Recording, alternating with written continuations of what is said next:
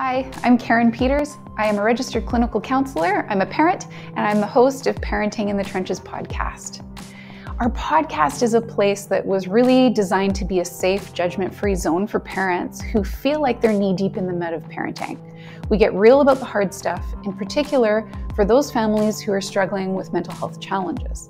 We tackle all sorts of topics, like different ways of growing our families, different ways of developing.